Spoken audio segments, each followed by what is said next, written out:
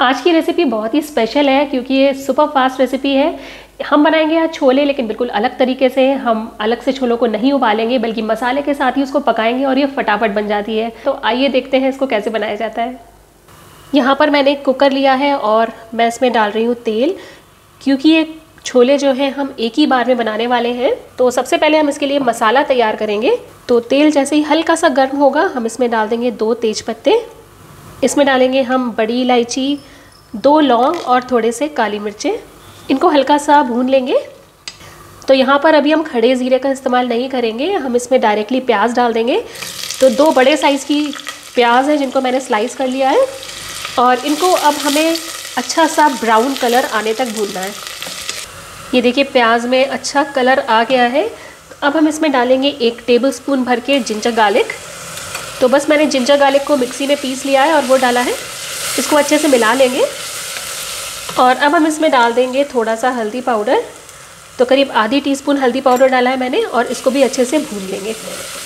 तो हल्दी पाउडर जो है वो पहले डाला जाता है क्योंकि हल्दी को हमेशा थोड़ा सा तेल के साथ भुन जाना चाहिए, नहीं तो उसमें कच्चापन आता है टेस्ट में। ये देखिए, ये भुन गया है।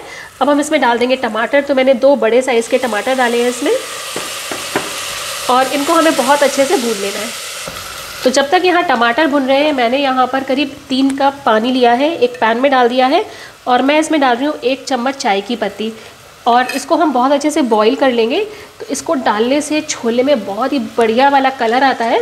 तो अगर आप इस तरह से खुली पत्ती यूज़ ना करना चाहें तो आप इसमें एक टी बैग डाल दें और इसको हम बॉईल होने देंगे। और ये देखिए, हमारे टमाटर भी काफ़ी भुन गए हैं।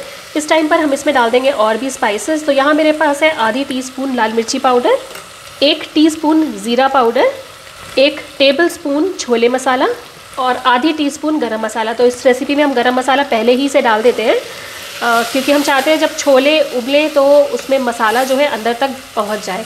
इसको बहुत अच्छे से अब हम फिर से भून लेंगे। और यहाँ पर है छोले तो इन छोलों को मैंने सिर्फ़ रात को भिगो दिया था और सुबह इनका पानी हटा दिया है। और ये उबले हुए नहीं हैं ये अभी कच्चे हैं। मैंने करीब डेढ़ कप छोले लिए थे और ये देखिए फूल के कितने सारे हो गए हैं। और अब हम इन छोलों को इस मसाले में डाल देंगे। तो मैंने इन छोलों से पानी ऑलरेडी हटा दिया था। इसके साथ ही हम इसमें डाल देंगे नमक। तो टेस्ट के अकॉर्डिंग नमक डालें हम। और अब छोलों को मसाले में हमें एटलीस्ट तीन से चार मिनट तक अच्छे से भूनना है।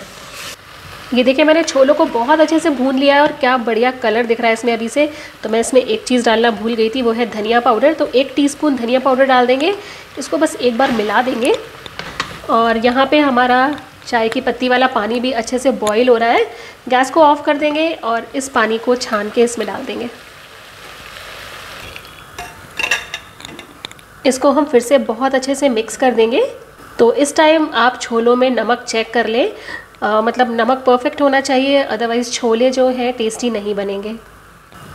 तो मैंने टेस्ट किया मुझे नमक हल्का सा कम लगा तो मैंने नमक और बढ़ा दिया है।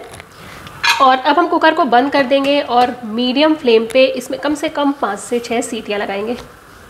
छोलों में मैंने पाँच सीटियाँ लगा ली थी फिर गैस को ऑफ़ कर दिया था और आइए अब इनको खोल के देखते हैं। तो ये देखिए।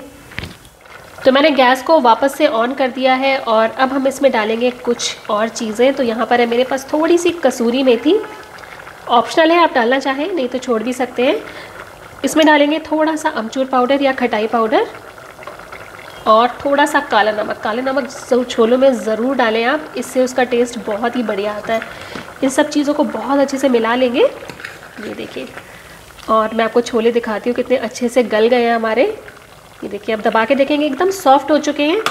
बस अब हम क्या करेंगे, थोड़े से छोलों को हम इस तरह से कुकर की साइड पे तोड़ लेंगे। इससे क्या होगा, बहुत बढ़िया सी ग्रेवी बन के तैयार होगी। तो ये देखिए, हमारे छोले बनकर बिल्कुल तैयार है, क्या बढ़िया कलर आया इसमें। और आपने देखा ये फटाफट बन जाते हैं मतलब हमें अलग से छोले ना बॉईल करने हैं, ना कुछ करना है। एक ही प्रेशर कुकर में आप मसाला बनाएँ, उसमें छोले डालें और सीटियाँ लगा दें तो देखिए क्या बढ़िया छोले तैयार हो गए हम इनको गार्निश कर देंगे, थोड़े से कटे प्याज के साथ और हरी मिर्ची के साथ। इस पे डाल देंगे हम थोड़ा सा देसी घी। इससे जो छोलों का स्वाद है, वो डबल और ट्रिपल हो जाता है। तो देखिए, लग रही है ना कितनी मज़ेदार और बहुत ही टाइम सेविंग रेसिपी है। फटाफट छोले बनके तैयार हो जाते हैं। आप भी ट्राई करके ज़रूर देखिएगा। बहुत बहुत टेस्टी होती है। आई होप आपको आज का वीडियो बहुत अच्छा लगा हो। अगली बार आपसे फिर मुलाकात होगी एक नए वीडियो के साथ। तब तक के लिए टेक केयर एंड बाय